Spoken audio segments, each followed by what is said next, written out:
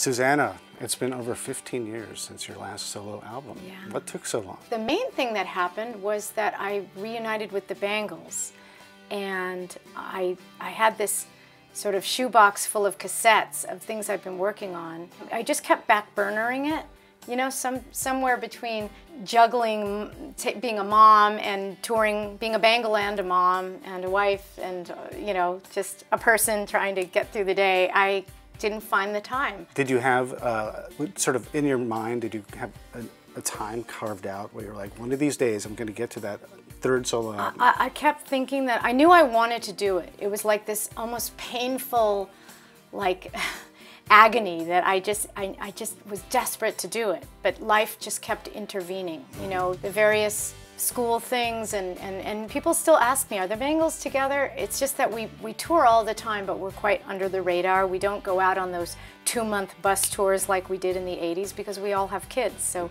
we're all juggling. Actually, on the way here today, um, we were listening to the 60s station on the satellite radio, and I'm just always amazed at how emotional and melodic that music is. And I think that it's just a very special period of time when people weren't afraid to wear their heart on their sleeves. And I, that's when I grew up. That's when I fell in love with music.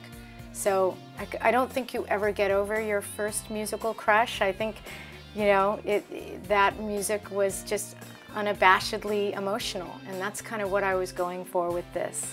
I have a very ET question. Okay. You look phenomenal. For 53. Is, for 53, which you're, you proudly state. Yes, why not? What is your secret? Is secret? What is my secret?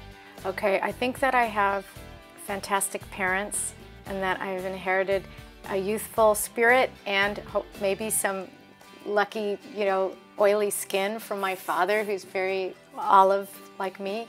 I think I'm, I've always been into staying fit since I was a little girl and I was a ballet dancer, jazz dancer. Um, so I, I'm out there walking every day, rain or shine. I'm, I'm a big fan of moisturizer.